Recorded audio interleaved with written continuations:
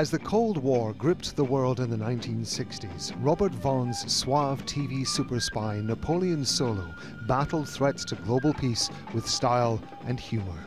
The Man from U.N.C.L.E. series propelled Vaughn to superstardom when it aired between 1964 and 1968. But he was already a well established actor, mainly thanks to his 1960 role as the tormented gunman Lee in the original all star cast version of The Magnificent Seven. Insults swallowed.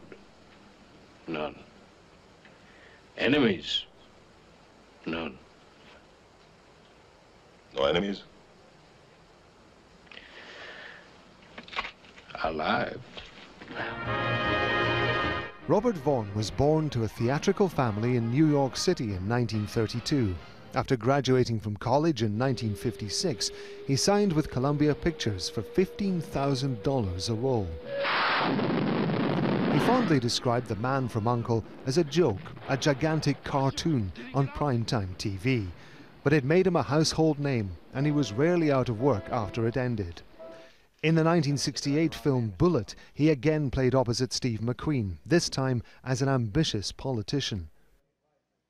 Good roles became harder to come by, and he was forced to do parts he described as not quality. No! No!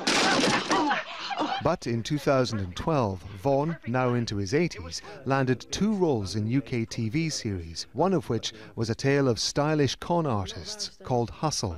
How's you tough, Albert? Not bad if I do say so myself.